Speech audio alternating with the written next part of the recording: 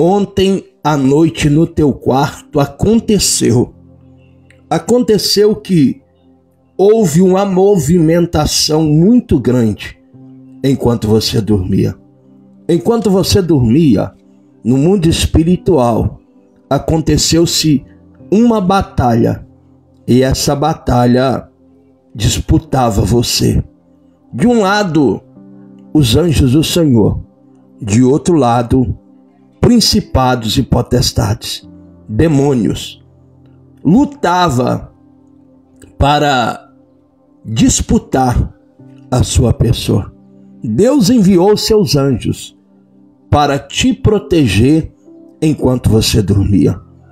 E houve esta batalha, e esta batalha durou-se a noite toda até você se despertar.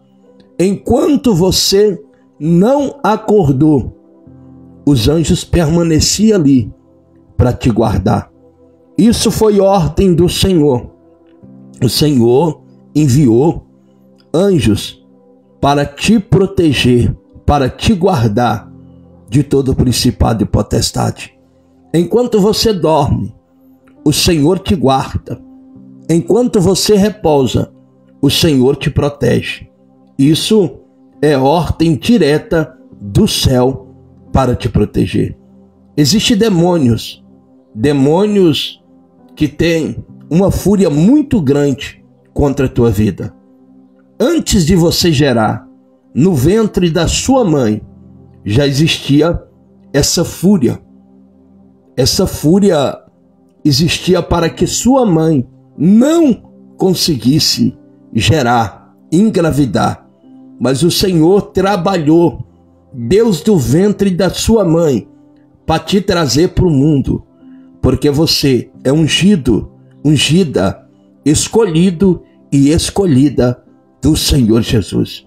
O Senhor tem uma missão, e essa missão, para se cumprir, o Senhor te deu um dom espiritual. E você sabe que você tem este dom.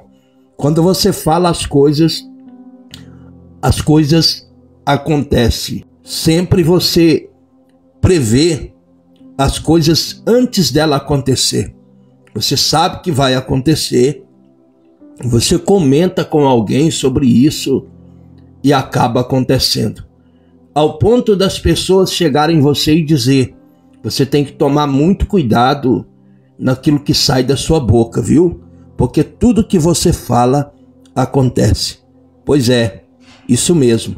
Isso é o dom que Deus te concedeu para que você usasse em prol, em benefício da obra do Senhor. E você precisa se erguer muito rápido. Você precisa se levantar e começar a exercer esse chamado.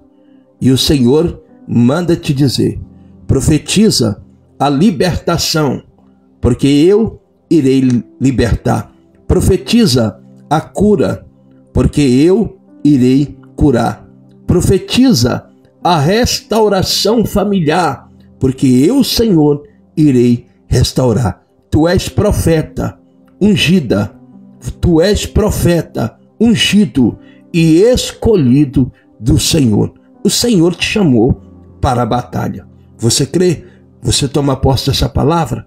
Curte esse vídeo, escreva nos comentários eu tomo posse e compartilha. Deus abençoe.